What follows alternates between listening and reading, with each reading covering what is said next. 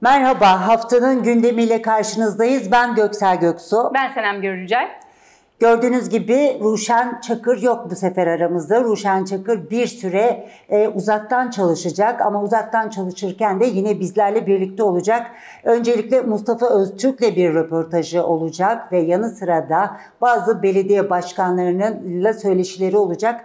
E, o söyleşileri izliyor olacağız hafta boyunca. Peki başka neler olacak gündemimizde? E, Diamond tema, Diamond tema e, öyle kolay kolay bitecek bir tartışma gibi görünmüyor değil mi Selam? Neler olacak bu hafta neler yapabiliriz? Yani ilahiyatçılar haberimiz Gülseven'in sevgili Gülseven'in yaptığı haber çok ilgi gördü. Bütün çok. siteler de paylaştı onu. Bazıları link de vermemişti ama e, üzülerek izliyoruz biz de bazen gelişmeleri ama yine de e, yaptığımız haber Gülseven'in yaptığı haber gündem de belirlemiş oldu. Ben Tabii. görüyorum böyle e, basın gruplarında Gülseven'in röportajı üzerinden e, işte röportaj yaptığı isimlerin numaralarına ulaşmak isteyenler vesaire var. Yine TV kanallarında da görmüştüm.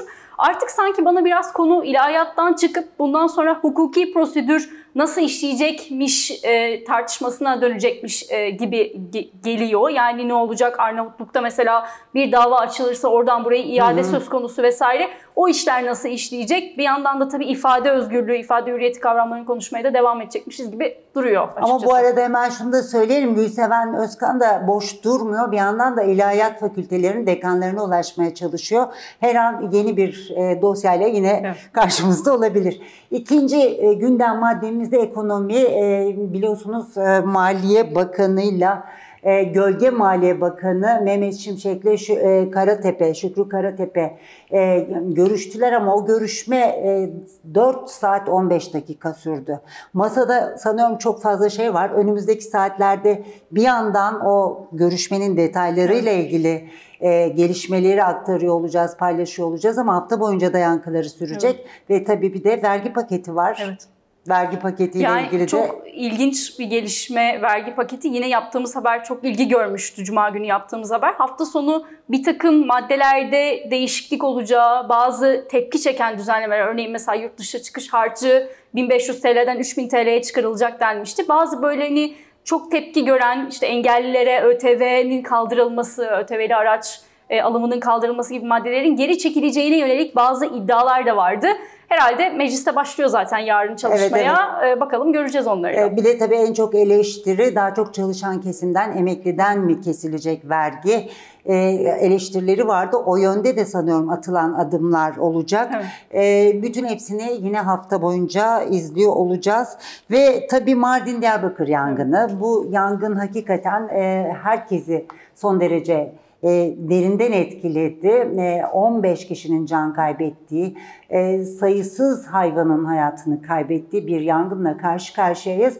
Diyarbakır'la Mardin arasında olan yangın. Bununla ilgili bilirkişi raporları başladı çıkmaya bir yandan. O bilirkişi raporları ve TÜMOB'un raporlarına evet. bakıldığında da görüyoruz ki e, tespit şu yönde e, bir elektrik direği var. Taşıyıcı elektrik direği, sigorta niteliğinde bir elektrik direği. Orada sigorta yerine iletken teller birbirine bağlanmış ve bir rüzgarın etkisiyle de kopmasıyla e, yangın başlamış gibi görünüyor ama şüphesiz onun davasını ve gelişmeleri de izliyor olacağız. Çünkü birbir ardına heyetler de evet. gidiyor bölgeye. Bağımsız soruşturma talep ediyorlar anladığım kadarıyla Tabii. yetkililer böyle sabah da başka bir yerde izlerken Sezgin Tanrıkul liderliğinde zaten CHP heyeti de oradaydı. Biz de bugün yine bugünkü yayınımızda Ferit Aslan, Diyarbakır temsilcisi aktaracak yine de bize son gelişmeleri bu hafta boyunca da takip edeceğiz. Ve hafta tabii. boyunca da evet, evet hem Ferit izleyecek hem de biz izlemeyi sürdürüyor olacağız ve tabii bir de adalar ve azman müsler var. Azman Müsler'le ilgili adaların gösterdiği tepkiler var. E, ve ilk kez bugün İmamoğlu da e, bir açıklama yaptı bu konuyla ilgili e, ve yakın bir zamanda buna mecbur olduğunu söyledi. E, o minibüslerin e, bir zaruret olduğunu söyledi. Çünkü orada ulaşımın sağlanmak zorunda olduğunu, e, sadece ellerinde ruhsatlı olarak da böyle minibüslerin olduğunu aktardı. Bununla ilgili de önümüzdeki günlerde adalara bir sunum yapacağını söyledi. Ayşegül e, Karagöz izlemişti adalardaki gelişmeleri, bir dosya halinde paylaşmıştı. Paylaşmıştık sizlerle. İlerleyen günlerde bu yanıyla da yine adaların takipçisi olacağız. Ama tabii bunlar Türkiye gündemi. Peki dışarıda neler oluyor Sena? Ee, Bir Avrupa Parlamentosu seçimleri gördü e, dünya. Orada da hepimizin yine manşetlere çıkardığı şey aşırı sağın yükselişiydi. Aslında aşırı sağ yeni yükselmiyor, senelerdir yükseliyor. Bunu bütün siyaset bilimciler, uluslararası ilişkiler uzmanları ilgililere aktarmaya, yine yayınlarımıza aktarmaya devam ediyor. Onun da bir yansıması olarak Fransa'da erken seçim kararı almıştı Cumhurbaşkanı Macron.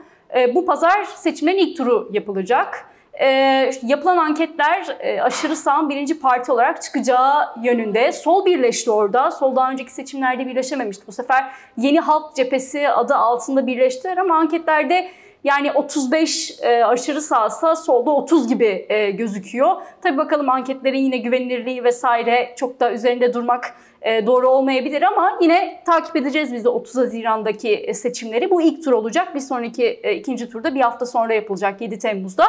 Bir seçim daha göreceğiz. O da Perşembe günü İran'da. İran Cumhurbaşkanı seçilecek. Cumhurbaşkanı reisi helikopter kazasında hayatını kaybetmişti. Aynı zamanda Dışişleri Bakanı da yine onu da çok konuşmuştuk. Orada da 6 aday yarışıyor. 5 muhafazakar, biri reformist. Ee, yine yapılan anketlerde reformist adayın sanıldığından daha çok oy aldığı e, görülmekte. Onu da takip edeceğiz, izleyeceğiz. Yayınlarımız olacak hem Bir sürpriz İran'da. olabilir yani Evet İran'da. öyle öyle gözüküyor. Bakalım neler olacak tabii. Orada mesela çok ilginç bir kültür var. Türkiye'de çok uzun senelerdir sen tabii daha iyi anlatırsın Göksel abla ama e, mesela liderler çıkıp canlı yayında yarışabiliyorlar. Bir münazara yapabiliyorlar. Mesela bir iki gün önce ikinci tur için e, yani ikinci kez çıktılar liderler münazaraya. Çok da güzel tartışmalar oluyor. Genellikle ekonomi yaptırımlar üzerinden gidiyor tartışmalar ama halkın da e, tabii kafasında kime oy vereceğine yönelik e, şekilleniyor bu tarz önemli şeyler. Umarım Türkiye'de de görürüz diyeceğim. Umarım. Umarım. Bir zamanlar aslında çok da uzandı değildik Evet. bu atmosferin ama e, evet. E, anlattığımız gibi hafta boyunca size aktarmaya çalışacağımız gündem maddeleri bunlara yenileri eklenir mi bilemeyiz ama bir hafta boyunca e, bütün bunları Medyaskop ekranlarından izlemeyi ve izletmeyi lütfen unutmayın diyelim ve hoşçakalın.